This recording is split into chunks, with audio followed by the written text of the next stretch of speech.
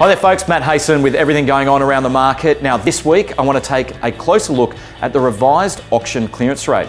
Now the revised auction clearance rate normally comes through around a week to 10 days after a Saturday auction result was published. And I believe it's a far more accurate assessment of what's really going on in the market at the present time. Now what we've seen trending over the last several months is the revised auction clearance rate is sitting around 10 to 15% below the Saturday published result. Now that's pretty alarming. So for example, last Saturday we had an auction clearance rate here in Sydney at 56%, but it's likely with the revised auction clearance rate and more data coming through that that's sitting closer to 45% if not lower. Now a 45% auction clearance rate really does suggest that the broader buying pool is rejecting the value of properties which are currently on offer in the market. Now two things can happen. Either prices need to come back to meet that buying audience or we're going to have a sustained period of an auction clearance rate sitting below 50%. So only or less than one in two homes actually selling under the hammer via auction, which is pretty alarming.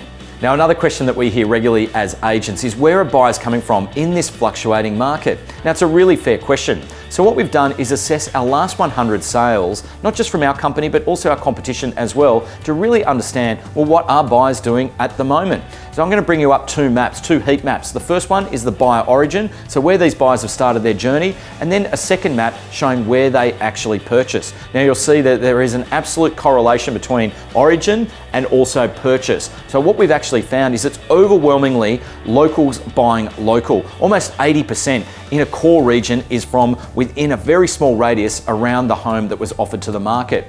So that really says a lot about what's going on in the market. We're also seeing buyers coming from the north, the east, the Hills District, the northern beaches, and also the eastern suburbs. They're making up or representing around 20% of the market, but quite often they're being knocked out by locals. And you can absolutely understand why. It's the local buying pool that really understand the nuances of an area and why they're attracted to it. They might know the best street, the right aspect, whether or not it's near their children's school, they've got the right route to work, or they love their favourite coffee shop or a great park to walk the dog. And that's why they often will knock out the more transient buyers coming from wider regions. So hopefully there's some good intel in there for you folks and our entire team looks forward to seeing you out and about this weekend. Thanks for watching.